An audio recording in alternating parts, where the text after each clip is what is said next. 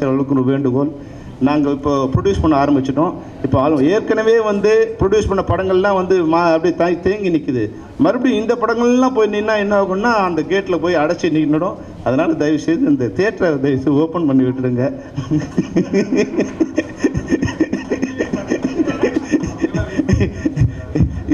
மிகப்பெரிய ஏன்னா இப்போ நாங்கள் எல்லோரும் வந்து எப்படி வந்து இப்போ முன்னாடி பேயை பார்த்தா பயப்பட்டோம். இப்போ பேயோடு கொடுத்துனோம் பிசாசோடு வாழ பிசாசை பார்த்து அழுகுறோம். பேயை பார்த்து சிரிக்கிறோம். இப்போ கொரோனா பார்த்து பயந்த காலங்கட்ட போயிட்டு இப்போ கொரோனாவோட வாழ பழகிட்டோம். அதனால் வந்து நாங்கள் திறந்து விட்ருங்க நாங்கள் கொரோனாவோட எப்படியோ வாழ பழகிடுவோம். கொரோனாவை பார்த்த பயம்லாம் எங்களுக்கு போயிடுச்சு. நீங்கள் சினிமா இப்போ என்ன இப்போ நிச்சயமாக வந்து தேர்ட்டி பர்சன்ட் ஃபார்ட்டி பர்சன்ட் தான் ஆக்குபேஷன் வருவாங்க சார். இப்போ படம் திறந்து நீங்கள் தேட்டர் திறந்தால் கூட வர்றவங்க தேர்ட்டி ஃபார்ட்டி பர்சன்ட் தான் வருவாங்க. அப்போ சின்ன படங்களுக்கெல்லாம் வந்து forty percent fifty percent occupation இருந்தால் கூட போதும். திரையரங்க உரிமையாளர்கிட்ட பேசி அதை கொஞ்சம் வாடகையை குறைச்சி நீங்கள் வந்து இன்னும் கொஞ்சம் சின்ன ஒரு உதவி பண்ணி இந்த லோக்கல் டேக்ஸை கொஞ்சம் கட் பண்ணி இந்த நாங்கள் நிமிடுற வரைக்கும் எங்கள் மேலே இருக்கிற வெயிட்டை கொஞ்சம் இறக்கி வச்சிட்டிங்கன்னா லோக்கல் டேக்ஸ் கொஞ்சம் குறைச்சிட்டு அது நின்னீங்கன்னா அப்போ வந்து ஏன்னா மொத்தமாகவே வராத போகிறதுக்கு நீங்கள் வந்து அதை வந்து திருட்டு திருட்டு போகிற நேரத்தில் கடனை கொடுத்தா மாதிரி.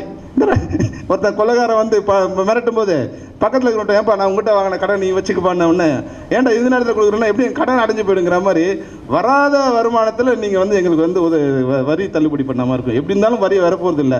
அந்த வரியை வந்து நீங்கள் இந்த நேரத்தை தள்ளி விட்டுட்டீங்கன்னா அரசாங்கம் அரசாங்கத்து நல்லவர் என்ன நிச்சயமாக சார் இந்த இப்போ பெரிய படங்கள் வந்து வரும்போது தான் ஃபுல் அந்த மாஸ் வந்து உள்ளே வர ஆரம்பிப்பாங்க. சாதாரண நேரத்தில் வந்து நிச்சயமாக ஒரு ஃபார்ட்டி ஃபிஃப்டி பர்சன்ட் தான் ஆக்குபேஷன் இருக்கும். இந்த நேரத்தில் வந்து வரியும் இருந்தால் அது ஏற்கனவே ஐம்பது பர்சன்ட் இருக்குது. வரியும் கட்டி தயாரிப்பாளருக்கு எந்த இதுவும் சேராமல் போயிடும்.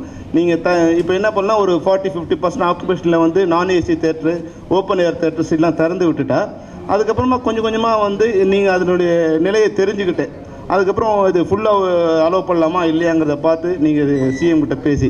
ஏன்னா சார் வந்து எப்படின்னா முதல்ல வந்து நான் போய் கேட்கலாமான்னு கேட்பேன் செல்வமணி இப்போ கேட்காதீங்கன்றவார். ஏன்னா இப்போ கேட்டால் நடக்காதுன்றவார்.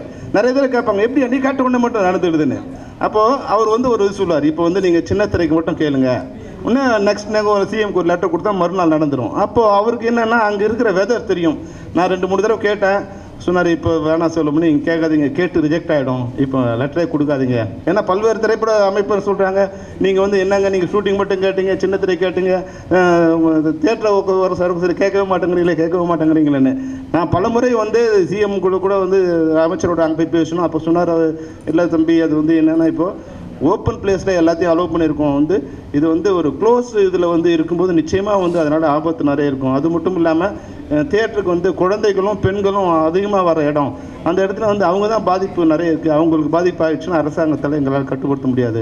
அதனால் தயவுசெய்து இப்போ இந்த கோரிக்கையை வைக்காதீங்க அப்படின்னு வந்து ஒரு டூ த்ரீ மந்த்ஸ் முன்னாடி சொன்னார். நியர் அக்டோபர் தி நவம்பரில் பார்க்கலாம். தீபாவளி முன்னாடி பார்க்கலாம்னு சொன்னார். இப்போ அக்டோபர் வந்துடுச்சு.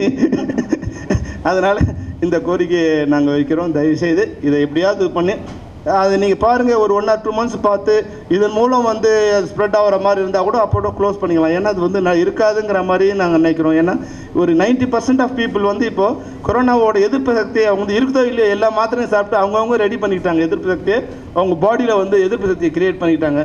அதனால் எங்கள் எங்களுக்கும் வந்து கொஞ்சம் அந்த மடையை திறந்து விட்டிங்கன்னா இந்த தண்ணி கொஞ்சம் கடைக்கோடி வரைக்கும் போய் சேரும். எங்களோட படங்கள் வெளியே வந்துடும் அப்போ தான் அடுத்த ப்ரொடக்ஷன் இன்னும் வந்து ப்ரொடக்ஷன் நிறைய பேர் வந்து ஸ்டார்ட் பண்ணாமல் இருக்காங்க. இப்போ வந்து ஒரு ஃபார்ட்டி பர்சன்ட் மெம்பர்ஸ் தான் ஒர்க் பண்ணிட்டு இருக்காங்க. இன்னும் சிக்ஸ்டி பர்சன்ட் மெம்பர்ஸ் வந்து ஓப்பன் பண்ணவர் கூட வந்து வேலை இல்லாமல் இருக்காங்க. ஏன்னா வந்து டிவி சீரியல் தான் ஃபுல் ஸ்பீடாக நடக்குது. ஃபிலிம் ஷூட்டிங்ஸ் வந்து ஒரு டென் டுவெண்ட்டி பர்சன்ட் தான் ஃபிலிம் ஷூட்டிங் நடந்துட்டு எதுக்குன்னா தேட்டர்ஸ் திறக்காதால் இந்த பிரச்சனை இருக்குது அதனால் வந்து வரி சுமையிலிருந்தும் கொரோனா பயத்திலிருந்தும் எங்களை காப்பாற்றி தமிழ் திரைப்படத்துறையை நீங்கள் காப்பாற்ற வேண்டும். அதற்கு சி முதல்வருடன் பேசி எங்களுக்கு ஒரு நல்ல பதிலை நீங்கள் பெற்றுத்தர வேண்டும் என்று. தேட்ரு நம்ம சொல்லிடுவோம் தேட்ரு நடத்துகிறவங்களுக்கு தான் அதோட நடைமுறை தெரியும்.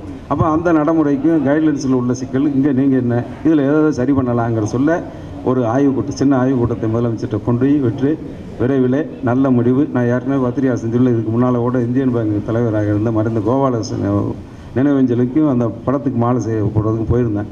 அங்கே கூட பத்திரிகையாளர் செஞ்சாங்க. இதை தான் நான் சொல்லிட்டு வந்திருக்கேன். மாண்பு முதலமைச்சர் நாளைக்கு வந்த உடனே இரண்டு நாட்களில் திரையரங்கு உரிமையாளர் சங்க பிரதிநிதிகள் சந்திப்பார்கள்.